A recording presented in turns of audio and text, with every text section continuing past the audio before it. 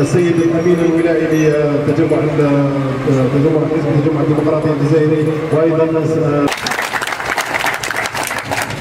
اليوم رانا في محطة من محطات بناء الجزائر.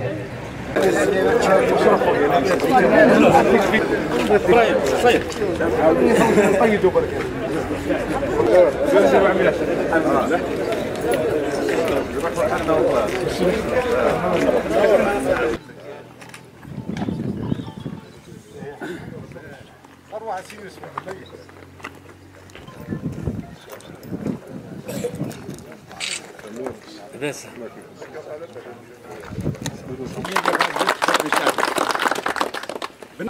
مناضلو حزب التحرير الوطني في المسينة كلهم مجندون كلهم على رجل واحد من من أجل إنجاح الحملة الانتخابية بدءا بالمناضل البسيط المؤ- المؤط- ال- ال- ال- الإطارات أمناء القسمات الم- ال- ال- المناضلون سواء نساء أو رجال كلهم مجندون من أجل إنجاح هذا العرس وسيكون إن شاء الله عرس اولا صبعه لما يحاك للجزائر. راكم تعرفوا بالحدود ملتهبة وما هذه المؤامرات الدنيئة التي تحاك ضد الجزائر سنترد عليها يرد عليها الشعب الجزائري يوم 7 سبتمبر.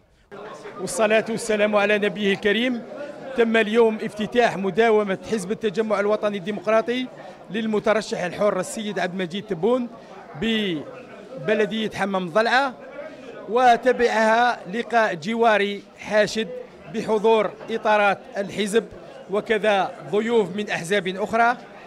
قدمنا آه، أو قمنا بتقديم عدة نصائح لساكنة حمام الضلعة وخاصة الهيئة الناخبة على الوقوف وهذه الأيام إن شاء الله في الحملة ونشر التوعية كافة سواء في الأحياء أو في القرى النائية على ضرورة ضرورة الانتخاب أو الذهاب إلى مراكز الاقتراع يوم 7 سبتمبر إن شاء الله باه تكون نسبة المشاركة إن شاء الله عالية.